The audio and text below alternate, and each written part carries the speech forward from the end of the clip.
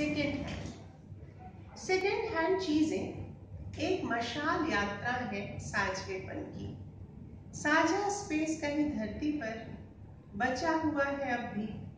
इसका आश्वासन है सेकेंड हैंड सारी किताबें और फर्नीचर सेकेंड हैंड कितनी किताबों के हाशियों पर हरी लाल मज़ेदार टीपे में किसको निवेदित है कौन कहे? Second hand furniture Amar colony के फुटपाथों पर करते हैं इंतज़ार, दूज के चंद्रमा की शर्मीली सी रोशनी में नहाए हुए।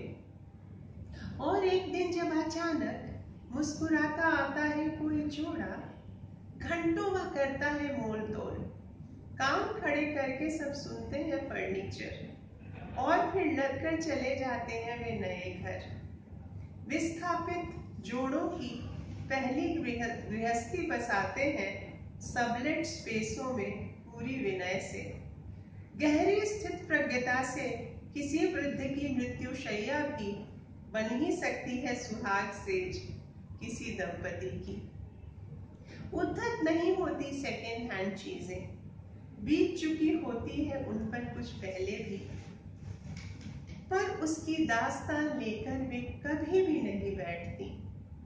उनकी सुंदरता का है रहस्य ये ही ये ही है उनकी मिष्टी मिष्टी सी मिस्टीक इस पर ही न्योछावर कहता है उनसे समय আমি তোমাকে ভালোবাসি